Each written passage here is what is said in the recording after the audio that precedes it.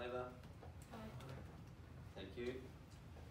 Right, that takes us now to Anderson's house and remedial works, and we have to speak on that, Michelle.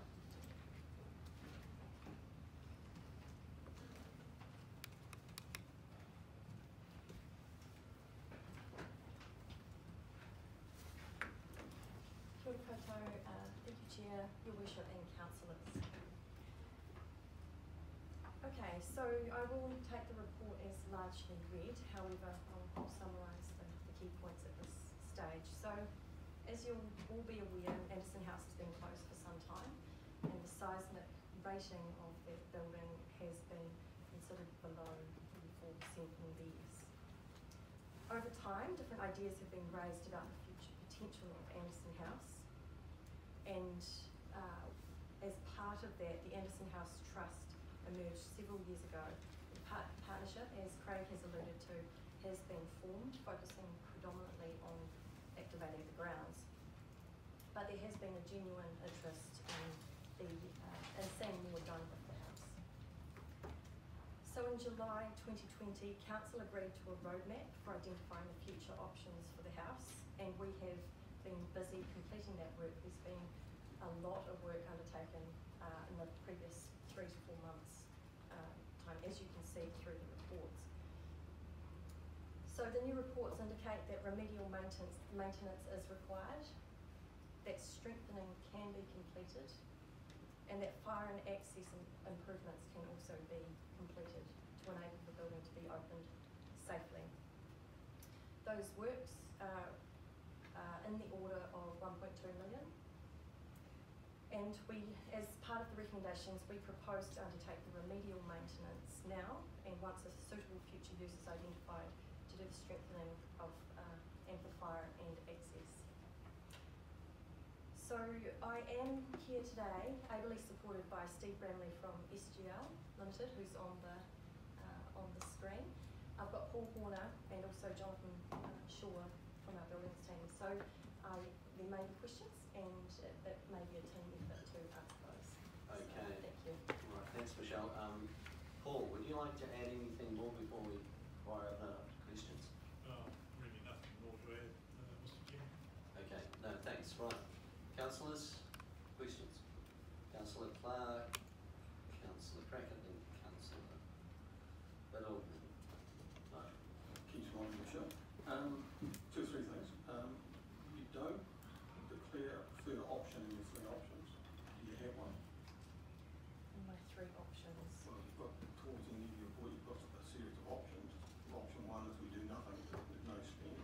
Option two is the remedial work, which is just basically the maintenance until we find a potential use. And the third one is the remedial maintenance, seismic strengthening and fire access improvements, which then opens it up for future use.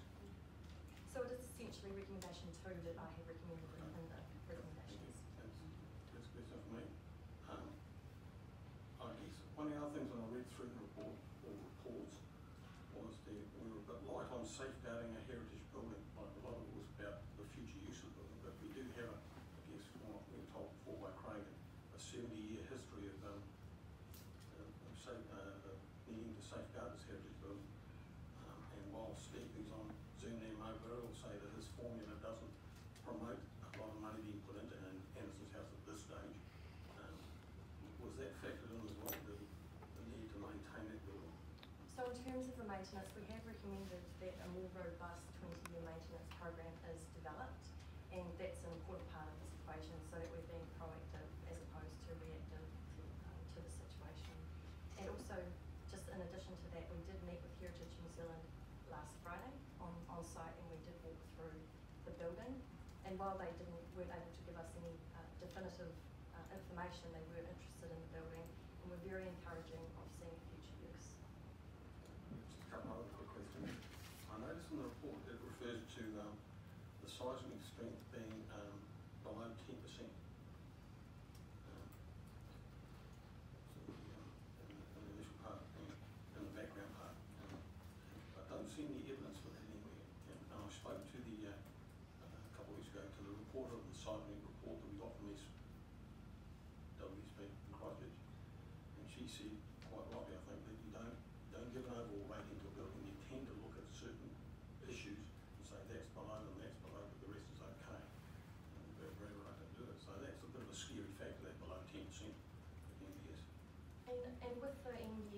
it is a tricky one, and I do acknowledge that. And um, the seismic reports, and Paul may want to add to this, the seismic reports over time have been undertaken with the information known at that time. So obviously the Christchurch earthquake and, and other um, events have uh, fast-tracked the, um, the knowledge, I guess, that we've gained through that process. But, um, but really, essentially, the comment has been that it's below thirty-four percent NBS uh, would be more recent. Okay, that's, that's helpful, um, because when I read the uh, interim report that came out before the final one, uh, one of the things that the report writers acknowledged is that they- there was some error in the original report back six years ago. And so they said that that would improve the, um, the overall rating of the building, but they didn't actually say what it would come up to, so it's still below thirty-four, but probably not as low as ten. No, obviously. I have had a conversation and indicatively between fifteen and thirty percent. Okay, thank you. And the last question relates to the um, strengthening of the building itself. And this is part of a wider picture that seems to be wider than just our council. It seems to be a lot of government departments and councils are now pushing buildings that are earthquake prone up to sixty-seven percent as opposed to just being above thirty-four percent. So my rationale for asking this question is if the ratings all the way through the last six years had been say from say forty percent, we wouldn't be having this discussion now. So why are we heading towards sixty-seven as opposed to say thirty-five or forty? I can't really comment on that. I, Okay. The advice I get independently, uh, is that when you double the rating, you probably triple or quadruple the price of the strengthening. Um, You know, it's a technical issue, but I just, I just don't know why we keep aiming for sixty-seven. Uh, I think we'll, we'll just keep the subject on Anderson Park House. Sure. but And the strengthening done, we've got the pricing on the strengthening and the pricing on the fire there. Yeah. So we'll, we'll just take that all, save that one for another. Okay, any, um, i- is, is that all, councillor Clark? Yeah, thank you. Yeah. Then we have councillor Crackett. Uh, thank you, Mr Chair. Um, I would like to commend our officers on this report. Um, I'm really, really pleased to see that we have this on the agenda today because I would love to move that we re-strengthen and reopen it, but um, I know the com- and I know the community desperately wants that, but knowing that we can apply to the Lotteries and Environment and Heritage Fund for eight hundred thousand dollars for that earthquake earthquake strengthening, I quite like Councillor Biddle, um, how she asked that, that question earlier of the trust would like to wait, um, I would like to, to approve that we, um, we approve that four hundred thousand for the remedial maintenance currently to keep the house watertight and safeguard the building, but I would really like for us to secure that eight hundred thousand dollars from Lotteries and Environment and would like to see that, um, us apply for that, so would like to wait for that the re- remainder of that earthquake strengthening to occur after we hopefully secure that funding. Um, I'm happy with the recommendations as they stand. I think that that's the order in which they need to occur. Uh, we need to watertight and safeguard that building. We need to have a maintenance plan to ensure that we have clarity for future budget requirements. We need to apply for that funding because if we can save our ratepayer eight hundred thousand dollars for this building, then we, we absolutely need to exhaust that option. And then we need to undertake that work should we approve that or get that funding approved. Um, and I'd like to move accordingly. I'll second that if uh, councillor Right. Crackett's moved. We have a moved and seconded, we still have a couple of speakers. So, uh, Michelle, you wanna comment? Councillor Crackett, I do have a further update on the lotteries uh, funding. So Mhm. I had a look at the decision date and that is the second of June. So that may change, if- it, it may. The That's the decision decision date. date. Decision Yeah. date. So the application closes in March, Yeah. but the decision is the second of June. Okay. Thank you for that. Biddle. Um, that changes everything for me, if I have to be completely honest. Um, sorry, I have some questions though, and I'll stick to that. Um, the first question is, it says in our report, a suitable use of venue before we strengthen. So two questions, one, who determines what the suitable use is? And what is going to be used to test that theory? Because a suitable use may come organically if the building was open to the public, ready to be strengthened, oh sorry, strengthened and, um, so that's my first question, I'm hoping you can answer. Um, I did, um, feel that this was the right way to go until you gave me that second piece of information and I just need some time to process that in my head if that's okay, because June is ultimately a long way away and would potentially mean another, where are we now? Twelve months. Yeah, and I'm not sure that the community has an appetite to wait twelve months when we've forecasted this in our budget already. But can you answer the first one for me?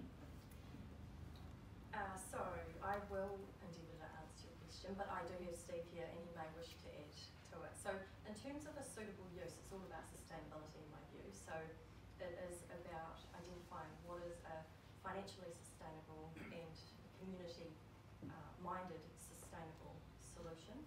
The, um, the decision around sus- uh, suitable use, in my view, would be a recommendation from council officers through a thought process that comes to council for council to make the ultimate decision. So that would be my approach. Steve, would you like to add to that? Yeah, I mean, just, I, I think that's one of the decisions which um, councillors need to consider. In other words, if we're opening it for the public, is that sufficient public use uh, to justify the level of expenditure? Um, and then obviously, as um, Craig McAllister commented, there's an overall intent to increase the level of park use, whether that's through eventing um, or other regular activities. Uh, so again, there'd be some natural extra throughput through the house. And then there's probably another level of gain, which might be anything from sort of a mobile coffee stand to a cafe possibly established in the house to potentially a more ongoing uh, functional catering, uh, which potentially would require uh, additional work. Probably if I could just make two other comments just on items that have been raised today. Just with lottery environment and heritage, um, one could apply for 800. Um, probably just from my experience of these types of projects, um, it more would more likely attract in the 200 to 400 range uh, for the kind of scale that we've got.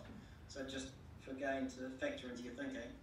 And as you heard Mr McAllister comment too, just be aware in the 1.2 when you talk about future utilisation, uh, there's no kitchen and also the toilets are substandard. And part of our discussions coming into today with the trust was uh, through uh, both council's resources or through public funding, if the 1.2 is addressed, whether the trust can take a lead on potentially addressing kitchen and toilet over and above that. So the 1.2 doesn't include that, and really the toilet is substandard and the kitchen doesn't exist, just for clarity. Okay. Thank you. Um, just to follow on then, if I may, my um, feeling about this, and I've mentioned it earlier, is that if we got the building opened, then organically we would see the community start to use the building uh, in ways that the trust have expressed.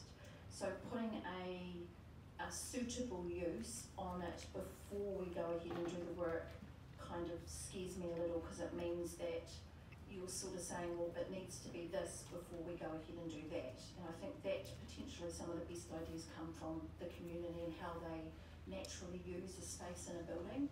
Uh, so that's the only part of the recommendation that I wouldn't support, and I think we should strengthen it uh, using the budget that we have after hearing.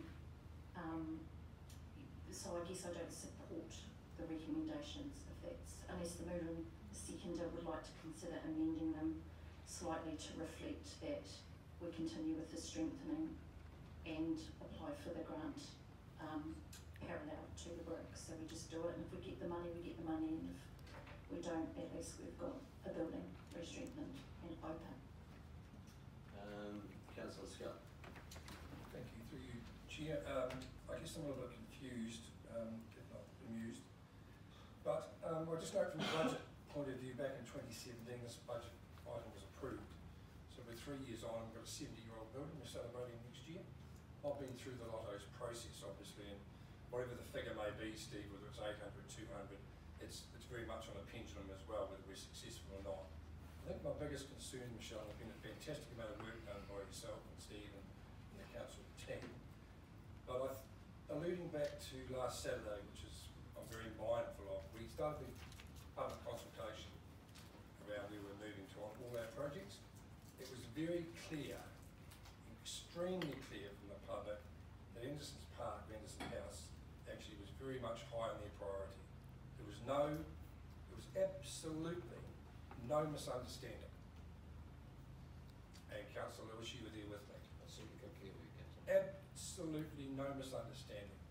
The level of frustration is high. It is an iconic, historic building. This council, we, and I've been a part of it, we're very happy to strengthen a water tower at 800k, and it is iconic in its own way, but so is Anderson's house. So now is the time. Now is the time. I'm surprised by the recommendation. Option, to me, there's only one option. In fact, it's only option three. We cannot wait till June next year. We have to show this community, our ratepayers, that we have some responsibility to look after the assets that we own. This is our asset. We have to get in our minds and start to look after the assets that we have. We've done a damn poor job in the last four years of doing that. A damn poor job. Now is the time to be positive and absolutely show this community that we mean to look after our assets. This is iconic. I'm only on about option three. That is the only choice we have. Councillor Clark.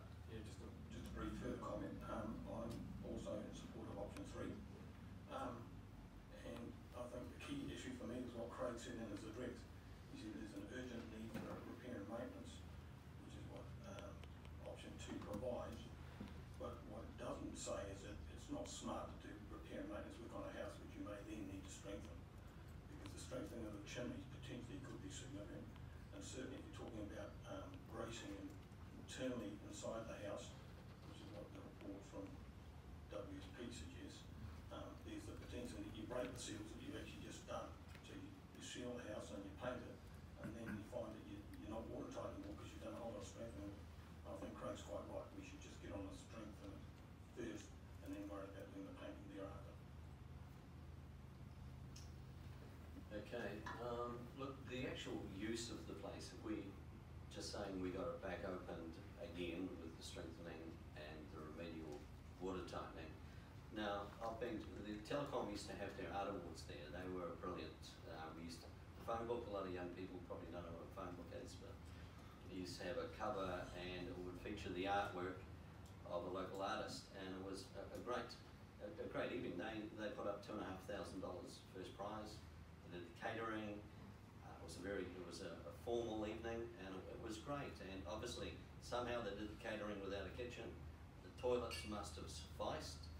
Um, and, and it was a brilliant affair and a, and a environment that you don't often get to be in. So I'm quite keen to carry on that if, if we can get there somehow. Councillor Crackett.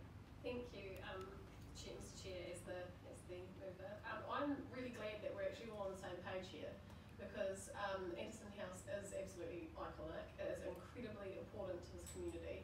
And, uh, we, everyone that's spoken so far really does want to see that and everything, um, occurred and happened and back, given back to the community to be able to use however they see fit. So that's something that we're actually all agreeing on. The only part for me that's slightly uncomfortable is that if we can get any money for this to relieve the ratepayer at a time where we're in a pandemic, have had a lot of stress on the community, that's the only part that's uncomfortable for me. Is that why are we taking money off them for a project that we potentially could get back?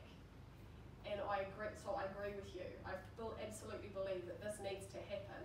It's just so frustrating that the timing of this means that it needs to be, well, and could be pushed back to June, and then that, that is the part that's, that I'm really frustrated with. So I'm actually quite on the fence here, like I could quite easily see this motion lapse and us fully, fully, fully get behind this and pay for it, um, without, uh, without going for that funding if that's what this council believes is truly the way to go. But I'm just struggling with that we, if we can get any funding for it at a time where funding is really constrained and we're committing to so many projects. Okay, I'm- Coun- Yeah, thank you. Um, councillor Ludlow, were you wishing to speak? Yeah, thank you. Um, I similarly recall the, uh, Telecom Art Awards, which I think were a corporate event at the Anderson Park Art Gallery, uh, Art Society hosted. Um, I don't know that Telecom run those art awards anymore, but, you know, it, it highlighted what a tremendous venue Anderson House was in its, in its public, uh, prime, and, and we're all keen to see it get back to that. Um, I, I, I'm sitting currently with the, the last point that, that councillor Crackett made, I mean, I I don't think anybody here doesn't want to see the work done. Making the building watertight should be the first priority. Um, but if we can get some significant public funding at the moment, if it's from lotteries, whether it's two hundred, four hundred or eight hundred thousand dollars, on our budget lines at the moment, with the amount of work that we've got to do, not, just across this project, but several other projects which we're all equally passionate about, getting as much help, help from somebody else's fund is, is something that would play a big part in this. Look, it's, it's sat there in this document that you've had saying that the funding applications for lotteries close on March third for a couple of days. And if you expected that they were gonna make a decision in a week, then you're not spending enough time in this theatre. Those decisions don't, don't happen within four weeks, but, you know, actually June, that, that closure's not bad. I feel the frustration with how long that puts the strengthening project back. I guess we probably need to seek clarity about whether or not we were able to uh, put in the funding application for that eight hundred thousand dollars if the work was underway. If I was someone who was considering such a proposal and I could say that the work was underway and it looked like they were able to pay for it, then that would shut it down. That's just me uh, theorising, but I, I wouldn't mind um, a, a comment from, from Claire or, or Jane uh, about that, um, how it impacts it, that, that, that funding application. Okay, um, Paul, um, Paul, you want to, Uh, uh, look, can I yeah, address that point? I mean, I've got a question coming up for Paul that I, I hope you can help us answer. Um, look, it, it would seem to me that it may well prejudice the case going forward for our application if we'd already signed off all the money. So we've got to step our way through this to get to the end result. And I wonder, and this is the question that Paul could probably help with, um, and, and it may be in the report seen it, but there's always a, a set, a planning phase before you actually start on stuff and how long that would be. It might take us till April to do the planning, I don't know, and, and how much money would we have to invest in the planning so that when we do hear whether we've got any money and how much it is, we can either come back to council or we're ready to go straight away. Does, does that make some sense, Paul? Can you help us? Through you, Mr Chairman, uh, most of the planning has been done for this, Okay. apart from uh, details that would fall around uh, future use of the house. Uh, if it's just being done for strengthening alone, at the same time that the um, exterior maintenance is done, then that would be, we would decide what the solutions are and get on with it. So that would certainly be done by April, uh, could be done by the end of the, this year, calendar year perhaps. Mm. But with regard to applications for heritage funding, I'm pretty certain that they would have to be in before you start actually doing any work. They don't fund in retrospect. Yeah. okay, just one question, uh, Jonathan, can I ask you a question just regarding time for, uh, obviously, uh, the restrict, the re-strengthening would require building consent, is that right? And the time to, to do the, the work, to get that consent, the time required?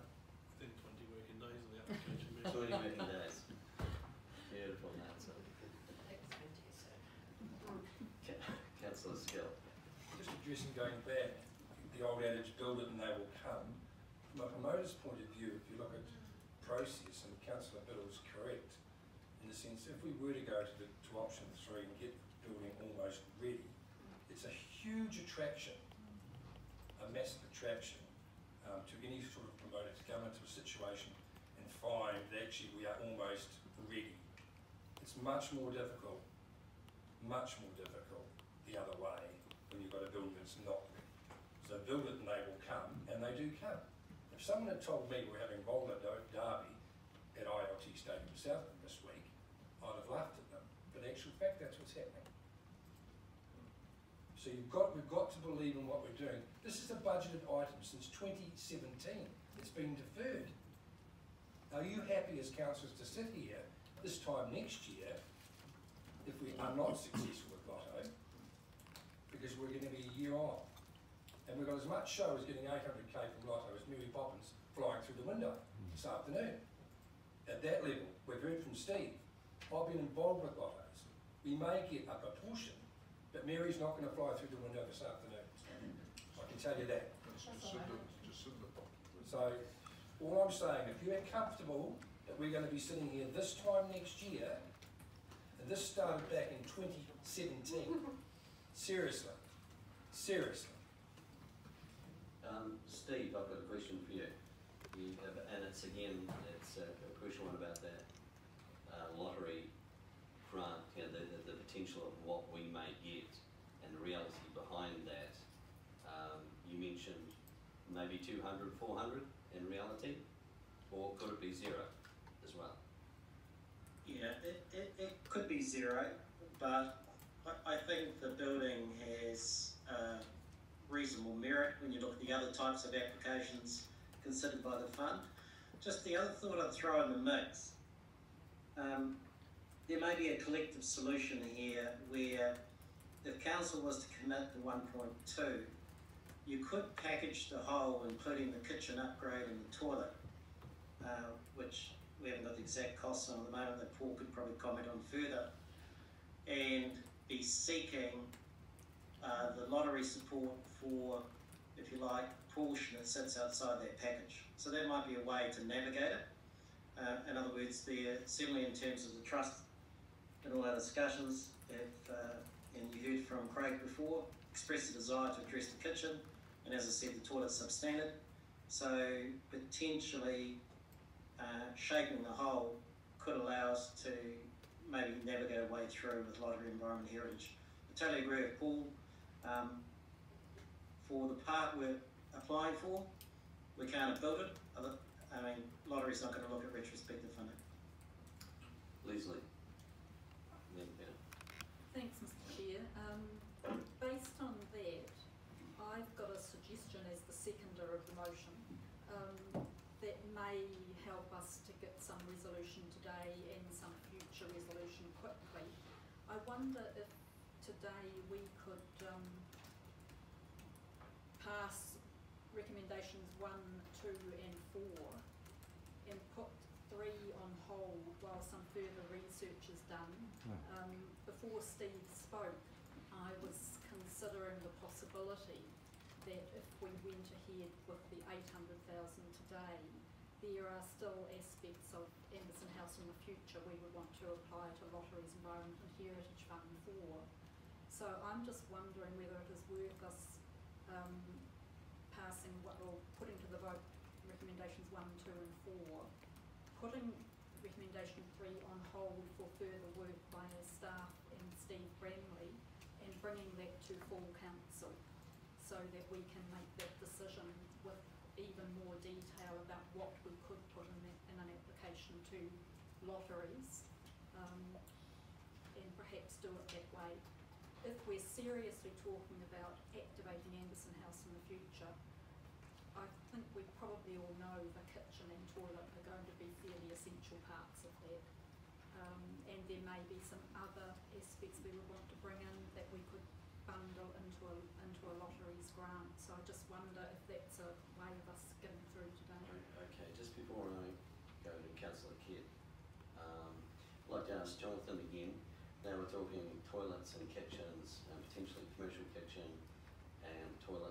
do now trigger, and the building consent form, some toilets would need to be uh, compliance with, with, with various acts. From the type of work that's being suggested, then yes, the building consent would be required and we look at accessibility. So we're talking access accessibility, uh, it wouldn't be upstairs because you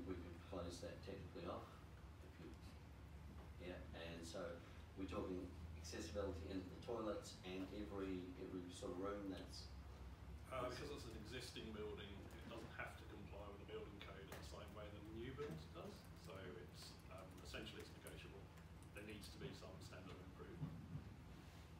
right, okay, and the toilets and kitchen, right, the, the cost there would be, would be, would be a reasonable cost. Thank you, uh, councillor Harkin. Yeah, thank you, Chairman. Uh, I agree with Councillor Skelt. Uh, I've also had dealings with the New Zealand Lotteries Commission on numerous occasions. And uh, you, in most cases, you end up with probably twenty percent which you apply for, in some cases you end up with nothing. Look, if we were to get, say, two hundred thousand, uh, it is quite a bit of money, it would go help a long way for the project. But look, we're just delaying things once again, delays, more delays. And then all of a sudden, there's another year gone by and nothing's been done.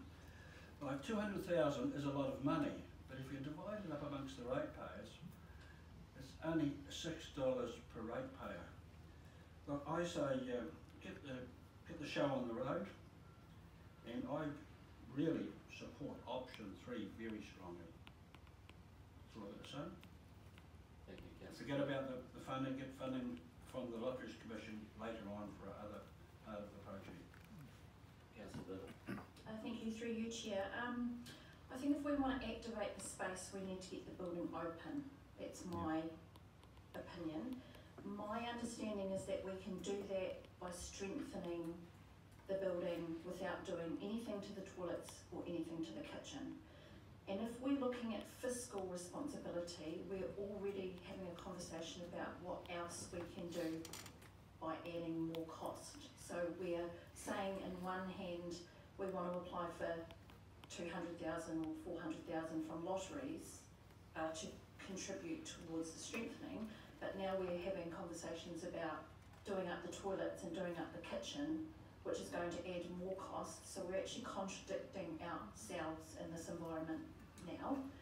If it wasn't a budgeted expense, so if it hadn't been budgeted for and we were asking for another um, lot of money from the ratepayer, I'd feel very different. But we've had it since two thousand and seventeen. Um, just with the conversation that's happened a part of today, I can't support the recommendation, so uh, unless the mover and the seconder can compromise a change to that I one think amendment. we've, yeah, I think we've gone far enough this now, and I've heard from everyone, um, now, so with the mover and the seconders, are you happy with what you've done, would you like to change it? Uh, we can put this and see if it stands or fails. No, if we, if it fails, as been told, if it fails, we cannot relitigate, so we need to, Mr Chair, then to withdraw the motion? um, uh, we're just gonna adjourn for a second, we'll get this sorted forward. I'm allowed to take on that.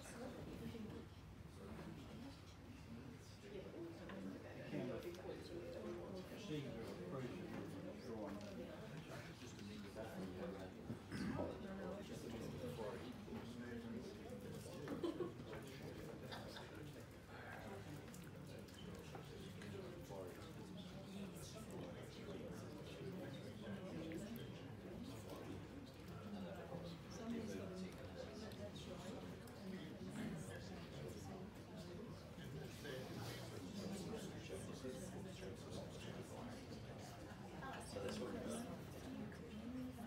Going to follow that?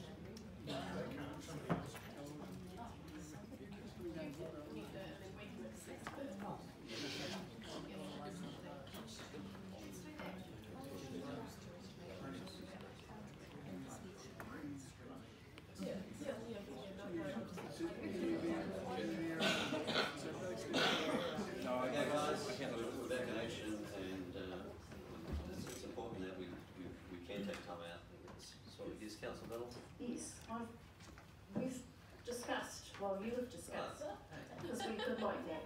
And we have an amendment to the third recommendation. Correct, you, you um, We're down. Ta-da. No. that we would like to make an amendment to recommendation three, that we commit to the strengthening work to be done on Anderson's house immediately, concurrently with the. Concurrently. With the It's a nice word. And Yes. fire and and the fire and Four at the same time. Yeah. Yeah, and that we, uh, continue with an application to lotteries for any further subsequent, you know, toilets, kitchen, et cetera. Which in reality will need to be done, without a doubt. Yes. Yeah. Correct, but we could still have the building open, and I think if the mover and the seconder are happy with that amendment, Uh, That I amendment- just- Amendment is put separately. Yeah, Oh. so what I'm gonna do is I'm gonna move move each, second it. yeah, I'm gonna move each move, of the four items, and then you have the opportunity on item three to amend that. Okay, so, um, I'm gonna move, um, uh, re- recommendation one, have a seconder? Sorry, recommendation one includes the words at the beginning, that Right, okay. receive the report Receive and the report. one. Okay, um, a seconder for that, thank you. Put, put, uh, recommendation one, all those in favour? Aye. Right, I'm gonna move recommendation two. Thank you, I'm gonna put recommendation two, thank you. Right, can I have someone move recommendation three, please? so I'd like to move an amendment And to that recommendation. And- That, and am I do, ending something? you can, um, Mr Chair, it's, Advice? it's, it's possibly easiest to stick to the words that are there. So, so I think that you are proposing an amendment Yeah. that the additional costs associated with addressing earthquake strengthening and fire and access requirements to enable safe pa- public access, estimated to be in the order of eight hundred thousand. Yeah. Be commenced, be funded and commenced. Yes, what she said.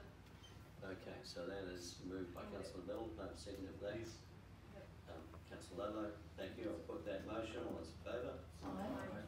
Okay, and, Now that becomes a substantive motion, so you need to. Now put that's a that in. I know, substantive, so I it's can move. okay, I'll put that again, as substantive motion. Um, before you do that, are we going to make any reference to the application to the lotteries fund, because at the moment it comes to that? Okay, Are we going to We say, can add that Add the later. motion. We'll make that number five. Yep. Okay, so we've done that. Uh, standing motion, uh, put the substantive motion, all those in favour? Aye. Aye. And then we're gonna go to recommendation that uh, note the Anderson House Trust is actively working with the Parks Recreation Department on activities and uses for property and has expressed a desire to be actively engaged and continue to support council with Anderson's Park. So someone move that, thank you councillor Lewis, second councillor Soper, put that motion, all in favour? Aye. Now, we have someone like to move councillor Ludlow. So Chairman, uh, our fifth recommendation that council investigate, um, the opportunity to apply to lotteries for funding to upgrade, uh, kitchen and toilet facilities. Second it. Thank you. can, can, can we add an, and And any other heating, sorry. Oh. Subsequent Right, and, Any yeah, some subsequent subsequent improvements. Yes. or approval, yeah. Okay, so we've got that. Langy, you've got that? Good, thank you. Put that motion all in favour. Aye. Aye. Thank you very much, guys. And look, gentlemen, Mary Poppins.